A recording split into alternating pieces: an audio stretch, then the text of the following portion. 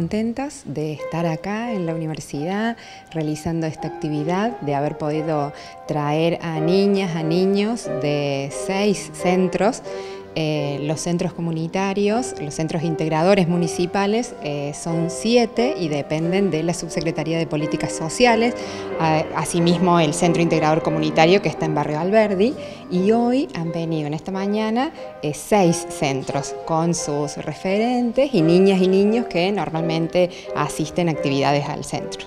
¿Pudieron recorrer previamente la universidad? ¿Cómo es la respuesta de los chicos?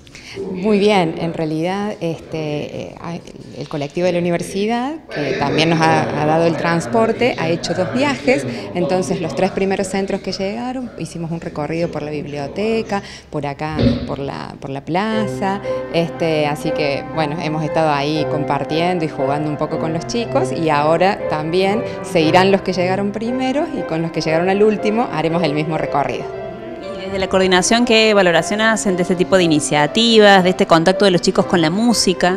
Muy, muy positivo. Nosotros consideramos que esta articulación eh, con la universidad es muy importante, es realmente la posibilidad de que, de que desde los barrios se pueda llegar a la, a la universidad a participar y ni hablar de tener esta aproximación a este concierto musical pedagógico donde los, eh, les están explicando además, no solamente es tocarles música, sino explicarles sobre los instrumentos y demás. Es muy, muy positivo.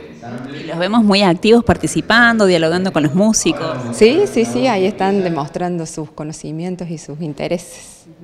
¿Esperan que se realicen actividades similares con estas características, otras propuestas con la universidad? Sí, sí, sí. Nosotros desde los centros venimos hace ya muchos años trabajando con la universidad y siempre lo que aspiramos es a fortalecer esos lazos de trabajo eh, que hasta ahora han sido a través de la universidad barrial, del consejo social, este, que siempre hemos ido articulando diversas actividades en diversos espacios de la ciudad, en diversos barrios a partir de las necesidades también de los propios barrios.